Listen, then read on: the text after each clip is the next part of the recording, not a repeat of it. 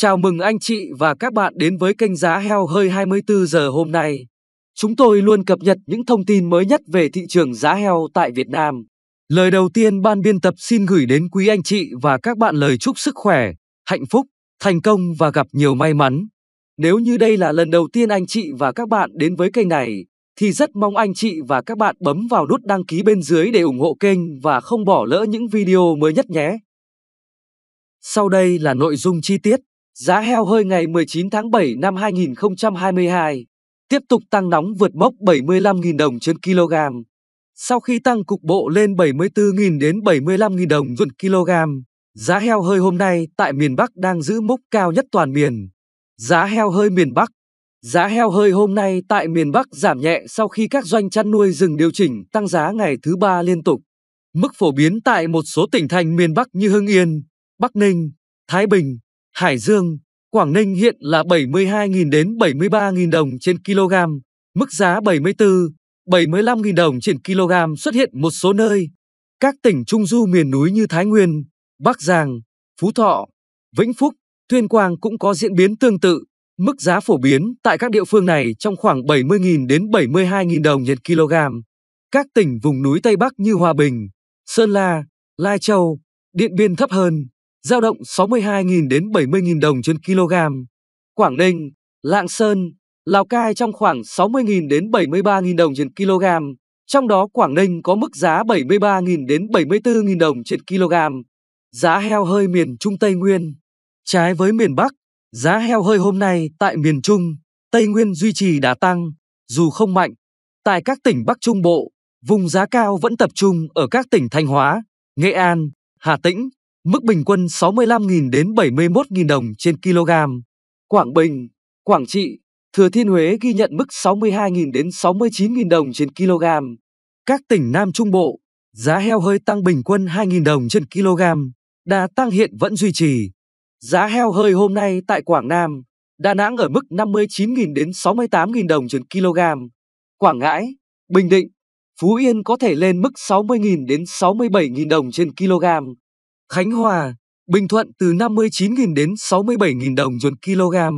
Giá heo hơi tại Tây Nguyên cũng đã xuất hiện mức giá 67.000 đến 68.000 đồng trên kg dù chưa phải trên diện rộng.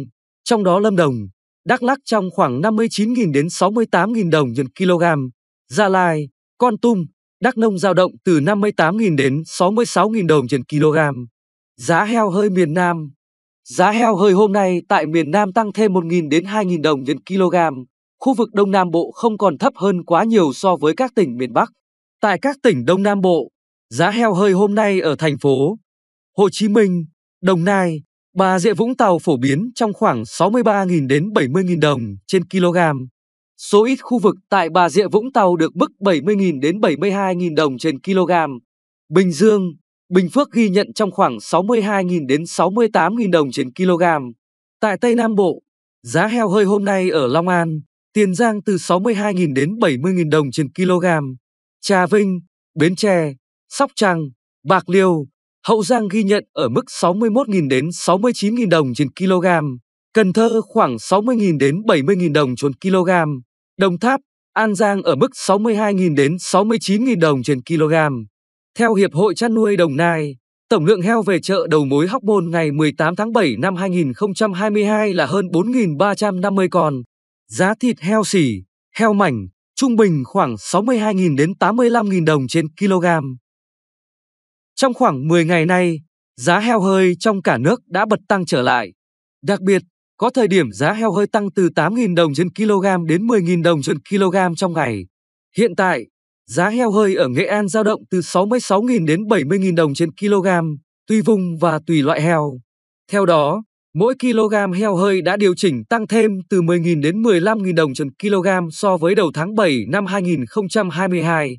Giá heo hơi tăng được lý giải do nhiều nguyên nhân.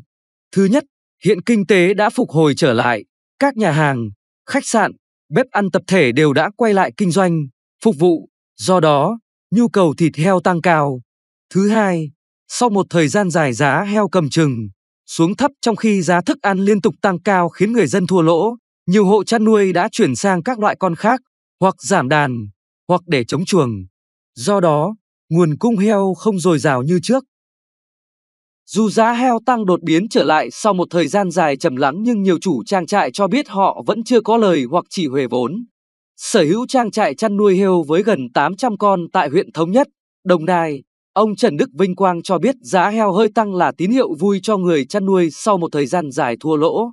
Tuy nhiên, mức tăng hiện nay chỉ vừa có lời nếu chăn nuôi heo nái, trong khi đó nếu nhập heo con về nuôi thì chỉ tạm huề vốn. Chi phí thức ăn chăn nuôi tăng quá cao tới 40% so với cùng kỳ năm ngoái. Do đó đối với các trang trại chăn nuôi, nhiều ý kiến cho rằng sự sôi động của thị trường heo hơi Trung Quốc đang tác động tích cực đến giá heo hơi của Việt Nam. Ông Nguyễn Chí Công, Chủ tịch Hiệp hội chăn nuôi Đồng Nai đánh giá, theo quy luật, nước chảy chỗ trũng, tức là khi heo hơi của Việt Nam thấp hơn Trung Quốc, các tiểu thương có thể sẽ tăng nhập khẩu heo hơi bằng hình thức tiểu ngạch để hưởng chênh lệch. Số liệu xuất khẩu tiểu ngạch thì khó có thể thống kê nhưng chúng tôi ghi nhận có tình trạng xe chở xe heo hơi từ Nam ra Bắc, trong khi miền Bắc không thiếu heo, cung cầu hai miền vốn cân bằng từ trước đến nay. Giá heo hơi nhích lên là tin vui với người chăn nuôi nhưng điều họ lo lắng rằng liệu đà tăng này có thực sự bền vững. Ông Chí Công cho biết, trong thời gian ngắn nữa, thị trường heo hơi của Việt Nam sẽ được hưởng lợi từ thị trường Trung Quốc.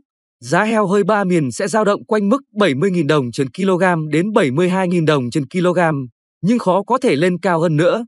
Còn nếu đánh giá về cung, cầu nội địa, đại diện Hiệp hội chăn nuôi Đồng Nai cho rằng hiện tổng đàn heo của cả nước đang khoảng 28,2 triệu con đáp ứng tốt nhu cầu tiêu dùng trong nước, thậm chí có dư thừa một chút trong bối cảnh sức mua còn yếu. Giá lợn hơi tăng, người chăn nuôi vui mừng, nhất là sau giai đoạn giá thức ăn chăn nuôi tăng phi mã thời gian qua. Cả một năm qua giá cám tăng cao, dịch bệnh hoành hành, người chăn nuôi điêu đứng. Nay giá tăng một chút thì cũng có thêm hy vọng. Hiện tại không còn cảnh thương lái ép giá như mấy tháng trước. Hy vọng giá lợn hơi có thể lên đến 72.000 đồng trên kg. Chị Phạm Thị Bình, chủ trang trại chăn nuôi với hơn 600 con lợn tại Hòa Bình cho biết. Lý giải về đợt tăng giá lợn hơi này, ông Tống Xuân Trinh, Phó Cục trưởng Cục Chăn nuôi, Bộ Nông nghiệp và Phát triển Nông thôn, cho biết Giá thức ăn chăn nuôi đã tăng từ tháng 3 đến tháng 5 vừa qua với nhiều nguyên nhân, trong đó có đứt gãy hệ thống cung cấp thức ăn chăn nuôi và cuộc xung đột giữa Ukraine và Nga.